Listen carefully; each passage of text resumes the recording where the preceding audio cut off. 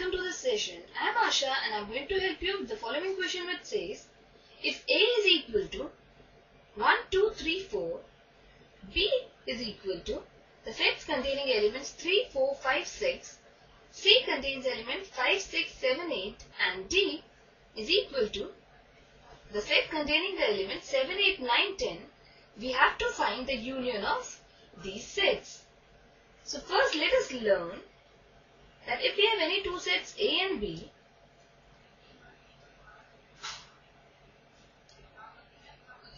then their union is equal to all those element x which are either in A or in B or in both. So this is the key idea we are going to use in this problem to find the union of these sets. Let us now start with the solution. And first we have to find A union B. Now A is the set containing elements 1, 2, 3 and 4 and B is the set containing elements 3, 4, 5 and 6. So A union B will contains all the elements which are either in A or in B or in both. So first we have 1, 2, 3 is in both the sets and 4 is also in both the sets and then 5 and 6. Thus the union of A and B is 1, 2, 3, 4, 5 and 6. So this completes the first part. And now proceeding on to the second part, where we have to find A union C. Now A is the set which has elements 1, 2, 3 and 4 and C is the set which has elements 5, 6, 7 and 8. And union of A and C will have all those elements which are either in A or in C or in both. So these elements are 1, 2, 3, 4, 5, 6, 7 and 8.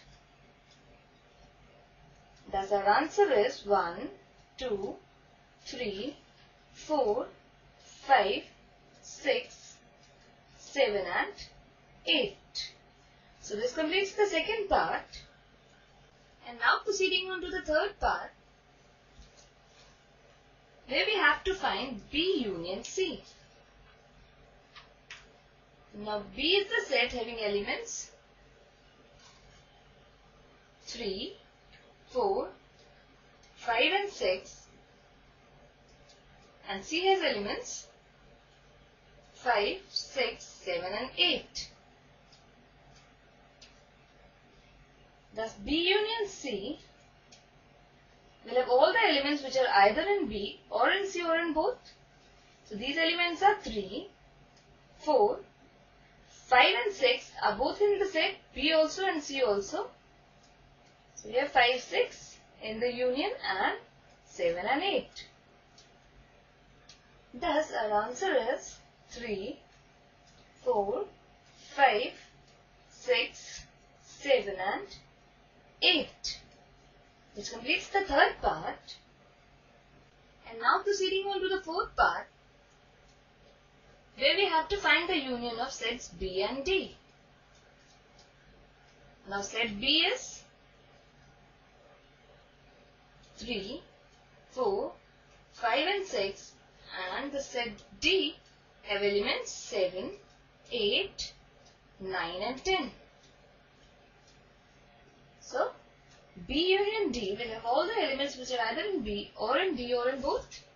So, these elements are 3, 4, 5, 6, 7, 8, 9 and 10. And thus our answer is 3, 4, 5, 6, 7, 8, 9 and 10. This completes the fourth part. And now proceeding on to the fifth part, where we have to find the union of sets A, B and C. Now here the set A has elements 1, 2, 3 and 4. The set B has elements 3, 4, 5, 6 and the set C has elements 5, 6, 7 and 8. So the union of A, B and C will have all those elements which are either in A or in B or in C or in all three of them or in any two of them. So these elements are 1, 2, 3 and 4 are both in the set A and B. Then we have 5 and 6 which are also both in set B and C. And lastly we have 7 and 8. Thus the union of A, B and C contains element 1, 2, 3, 4, 5, 6, 7 and 8. So this completes the fifth part. And now proceeding on to the sixth part. Here we have to find the union of A, B and D. Now A is the set which have elements 1, 2, 3 and 4. Set B have elements 3, 4, 5 and 6. And the set D has elements 7, 8, 9 and 10. Now the union of all these three sets will have elements which are either in A, B or C or in all three of them or in any two of them. So these elements are 1, 2, 3, 4, 5, 6, 7, 8, 9 and 10. So the union have elements 1, 2, 3, 4, 5, 6, 7, 8, 9 and 10. So this completes the sixth part. And now proceeding on to the last part where we have to find the union of B, C and D. Now B have elements 3, 4, 5, 6. Set C have elements 5, 6, 7 and 8 and set D have elements 7, 8, 9 and 10.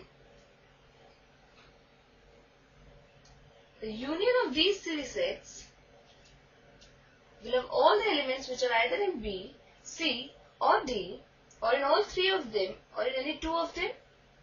So these elements are 3, 4, 5, 6, 7, 8, 9 and 10. Hence the union of elements 3, 4, 5, 6, 7, 8, 9 and 10. So this completes the last part. This completes the solution. Hope you enjoyed this session. Take care and have a good day.